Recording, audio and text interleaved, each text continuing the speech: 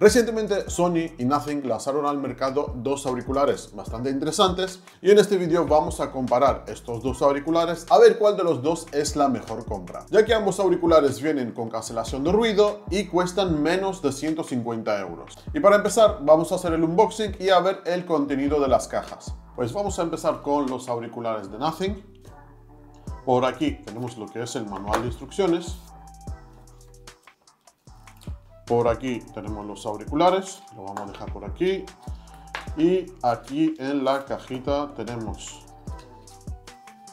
las almohadillas de diferentes tamaños y por aquí en esta otra caja tenemos un cable tipo C cortito de eso trenzado. Por aquí tenemos los auriculares. Cada vez que veo estos auriculares cada vez me doy cuenta que son muy diferentes, pero a primera vista parece que son iguales. Y ahora vamos a ver el contenido de la caja del Sony. Presionamos hacia abajo y tiramos hacia nosotros.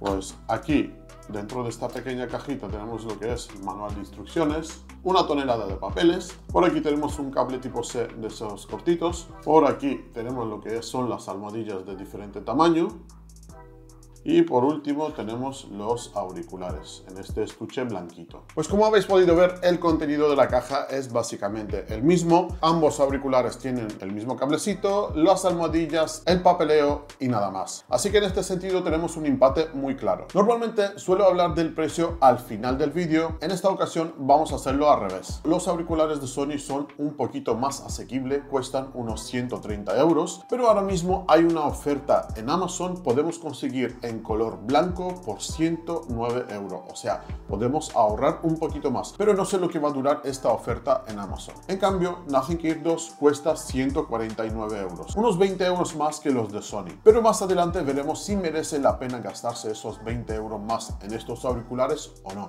Ambos estuches traen un puerto tipo C para la carga y un botoncito para resetear o sincronizar los auriculares con nuestro dispositivo móvil. Pero el estuche de Nothing tiene una ventaja y es que tenemos carga inalámbrica de 2,5 vatios. Mientras tanto, en los auriculares de Sony solamente podemos cargar a través del cable. Ambos auriculares tienen un diseño muy diferente, como los mismos auriculares como la caja en la que viene. El estuche de Sony me recuerda muchísimo al estuche de Samsung, los Samsung Buds 1, los primeros dos creo que, que salieron, que lo tengo justo por aquí que son muy pero que muy similares.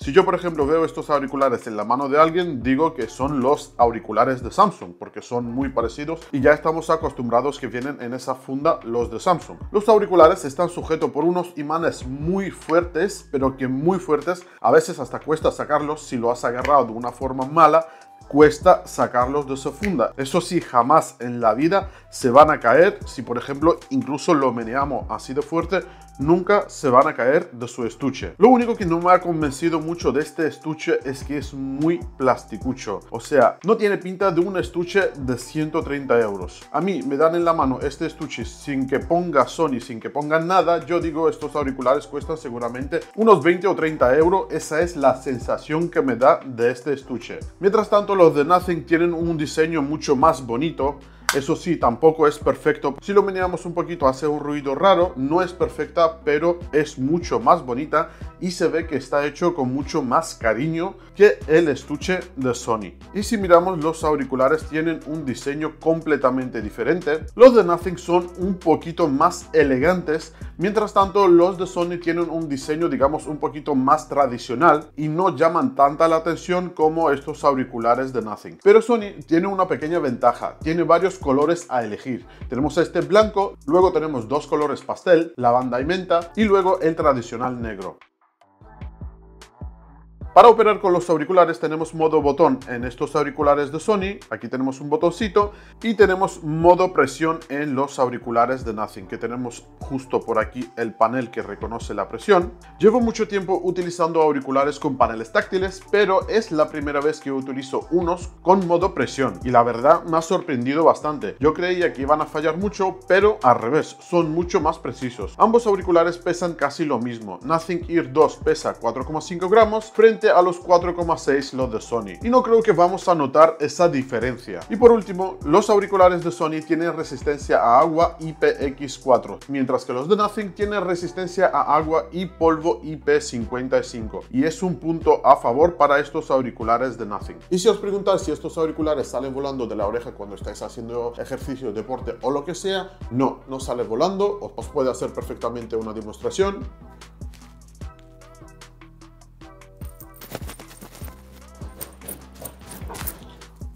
O sea, hagas lo que hagas, no van a salir volando de las orejas. Con el estuche podemos sacar 15 horas con los auriculares de Sony y unos increíbles 34 horas con los auriculares de Nothing. La siguiente diferencia se encuentra en la duración de la batería. Sony tiene una batería de mayor duración que los auriculares de Nothing. Cuando tenemos activado lo que es la cancelación de ruido, los auriculares de Sony aguantan 7 horas. Por el contrario, los auriculares de Nothing ofrecen más o menos unas 3 horas con la cancelación de ruido activada. Es una lástima que la batería es uno de sus defectos. El tiempo necesario para cargar el estuche y los auriculares de Sony es aproximadamente de una hora y media, mientras el de Nothing los tiempos de carga varían, desde los 50 minutos con el cable y algo más de 2 horas y media con la carga inalámbrica. El punto fuerte de estos auriculares es la cancelación de ruido activa. Y por desgracia, los auriculares de Sony fallan un poquito y fallan ¿por qué? Porque te meten como una especie de ruido blanco en el fondo y llega un momento que llega a ser molesto. Parece que tenemos una cortadora de césped ahí en el fondo siempre trabajando. Cuando quitamos los auriculares nos damos cuenta que ese ruido emite los auriculares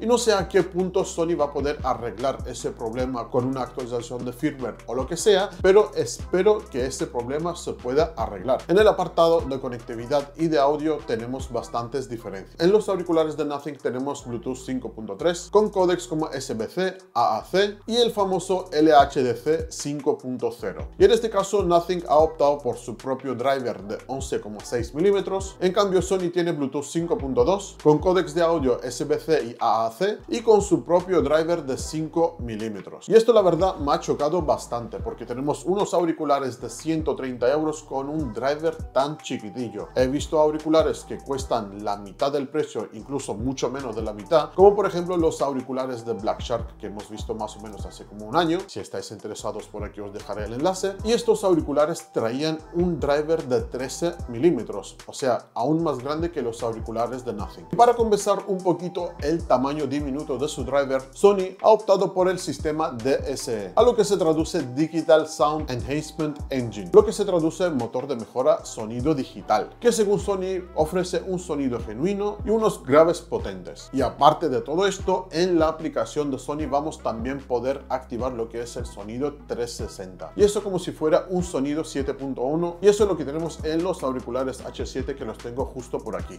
Bueno, pues basta de números y de características ahora lo que vamos a hacer es la prueba definitiva. Vamos a enganchar ambos auriculares. Primero lo que voy a hacer es escuchar por separado los auriculares de Sony y por otra parte voy a escuchar los auriculares de Nothing. Y luego gracias a los teléfonos de Samsung voy a poder conectar ambos auriculares a un solo dispositivo. Voy a reproducir la música y voy a ver cuál de los dos suena mejor. Primero vamos con los auriculares de Nothing.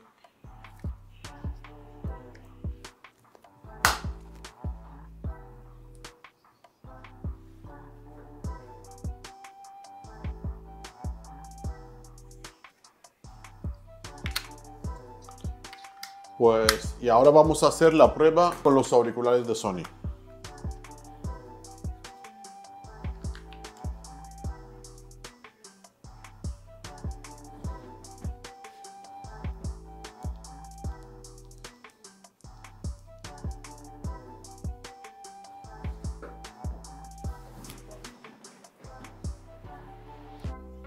Pues sí, ahora vamos a hacer la última prueba que va a ser conectar los dos auriculares al teléfono y a ver la diferencia en directo entre esos dos auriculares.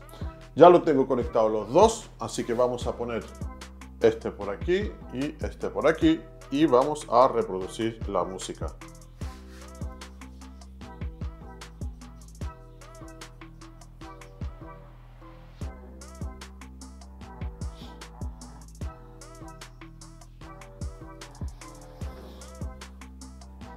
Bueno, pues Evidentemente los auriculares de Nothing suenan mejor porque tienen un driver mucho más grande, casi el doble de tamaño, y aparte tienen el codec Hi-Res que los auriculares de Sony no lo tienen. En los auriculares de Sony me falta un poquito los bajos, evidentemente el driver tan chiquito no puede emitir tantos bajos y es completamente normal, pero no me ha desgustado, o sea, el sonido es muy claro y en la aplicación de Sony yo lo que he hecho es aumentar un poquito los bajos y no suena nada mal. Pero yo creo que los auriculares de Nothing suenan mejor en casi todos los aspectos. Veredicto final. Los auriculares de Nothing producen mejor calidad de sonido, tienen resistencia al agua y al polvo IP55 y el estuche tiene carga inalámbrica. Sin embargo, los auriculares de Sony tienen una mayor capacidad de duración de batería y es más asequible que los auriculares de Nothing. Pero en mi opinión, si estáis buscando unos auriculares con calidad de sonido, entonces le recomiendo los auriculares de Nothing. Pero si no le importa tanto el sonido, sin duda los auriculares de Sony es una muy buena opción. Para todos los interesados dejaré el enlace debajo de la descripción del vídeo por si estáis interesados en comprar estos auriculares y si tenéis cualquier duda o pregunta dejadme un comentario y esto va a ser todo por hoy. Si os ha gustado el vídeo darme un pedazo de like que yo lo vea y nos vemos en el siguiente vídeo. Adiós.